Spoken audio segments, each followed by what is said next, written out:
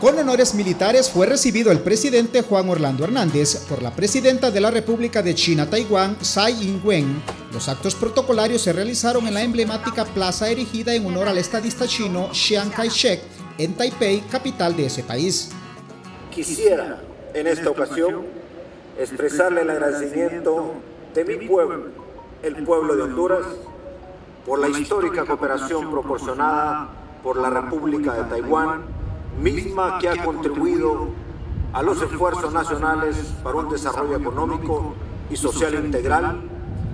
influyendo positivamente en la vida de muchos hondureños. Hernández es el primer presidente en ser recibido de forma oficial por la presidenta de la Nación Asiática, quien asumió el poder en mayo pasado, luego de haber ganado las elecciones de enero de este mismo año.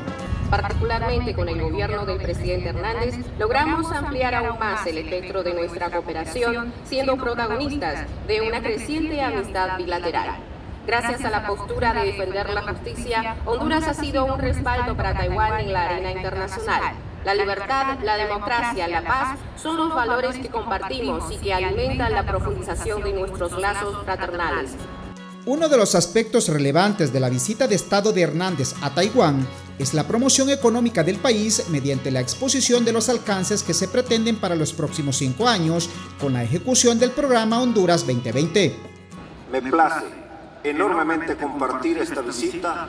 acompañado de funcionarios de mi gobierno y líderes empresariales del país, con quienes hemos fijado una meta clara para potenciar nuestros vínculos comerciales alrededor del mundo, posicionando los productos hondureños de alta calidad. Asimismo, se firmó un convenio de cooperación entre Pro Honduras, que es la agencia oficial del gobierno hondureño para la promoción de inversiones y exportaciones, con su similar taiwanesa Taitra, con lo que se ampliará la cooperación mutua con el intercambio de experiencias, asistencia técnica e información de relevancia en materia de promoción de inversiones y comercio. La presidenta taiwanesa condecoró al mandatario hondureño con la Orden del Jade Brillante con Gran Cordón y el presidente Hernández le entregó la Orden Francisco Morazán en el grado de Gran Cruz Placa de Oro, con lo que se consolidan más de 75 años de relación bilateral, de cooperación y amistad entre ambas naciones.